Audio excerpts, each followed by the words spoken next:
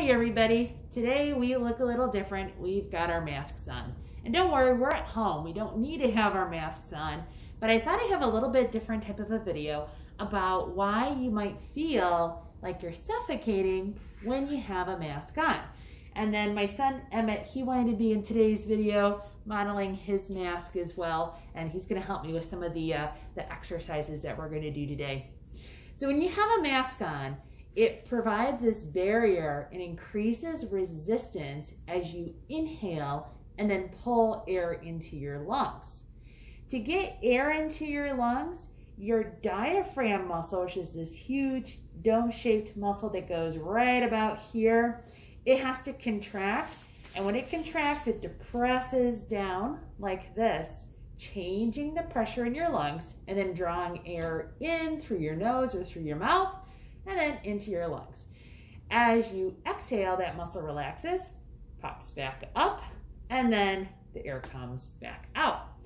Now, um, if you can imagine, um, if you were trying to breathe, let's say if you're really congested and had a cold, not coronavirus, of course, uh, you just had a regular common cold, um, it gets more difficult to breathe in and you feel like you're suffocating a little bit. And that's what kind of drives you to go find a Kleenex and blow your nose and try to open things up.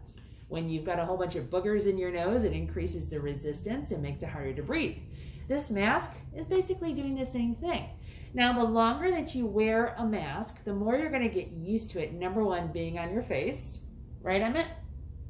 Yep, it doesn't itch as much anymore. My body kind of tunes it out just like it tunes out wearing a shirt, wearing shorts, or, or things like that.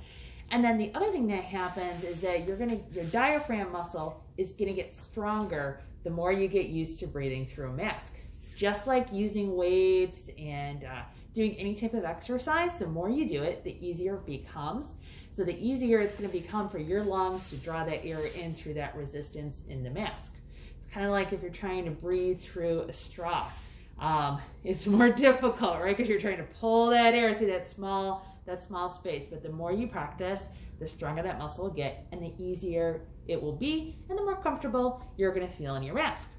So now that I've talked for several minutes with my mask on, I'm actually gonna take the mask off. Emmett, you can take your mask off too. All right, and we're gonna demonstrate just a couple of exercises that you can do um, when you're not wearing your mask to help increase resistance and strengthen your diaphragm so that when you do wear your mask, it's that much easier. So the first exercise we're going to do, that's right, thumbs up. The first exercise we're going to do is the crocodile breath. So we're going to lay on our stomach like this, and then you're going to put your hand on your head.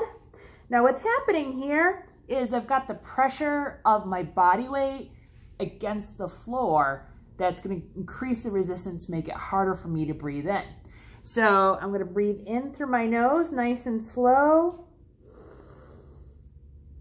and then out through my mouth. So in through the nose, out through the mouth. Now you got a general feel of how that exercise is and how it feels, had that pressure on your lungs, now you want to focus on it when you breathe in, breathe into your belly, breathe into your flank or the sides, and then breathe into your lower back. So when you breathe in, you want to picture your low back and your flank expanding and getting bigger. Let's demonstrate this from the side, okay, Emmett? Okay, so we're gonna turn to the side here. So watch my low back as I take an inhale.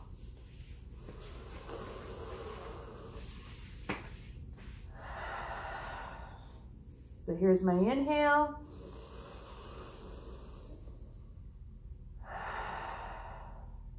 And then my exhale.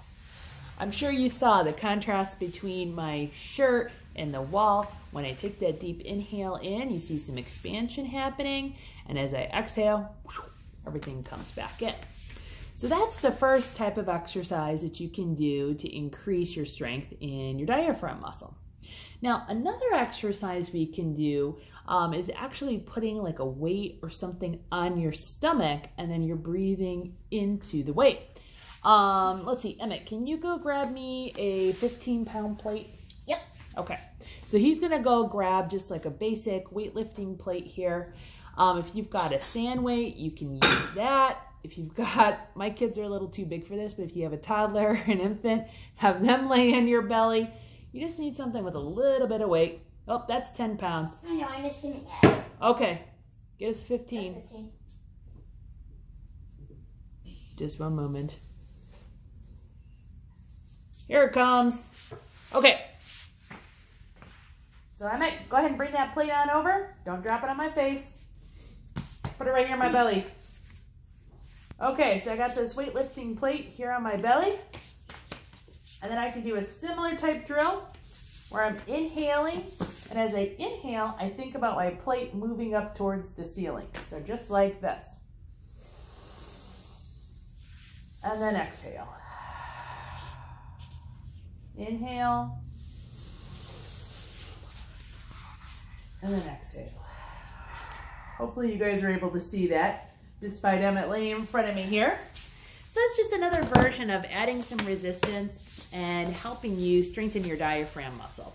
So what I would suggest is if you feel like you're suffocating in your mask and you need some practice on this, maybe start doing these drills. Maybe anywhere between uh, 5 to 12 repetitions in the morning and then the same at night. And then as you get stronger and stronger, then you can add more weight on your stomach or maybe more breaths or maybe trying um, to do the same type of diaphragmatic breathing while uh, you're, you're exercising and doing some of your core exercises, things like that. But if you do have any more breathing or diaphragm strengthening questions, please let me know. My email is Dr. Erin at ducatchiropractic.com.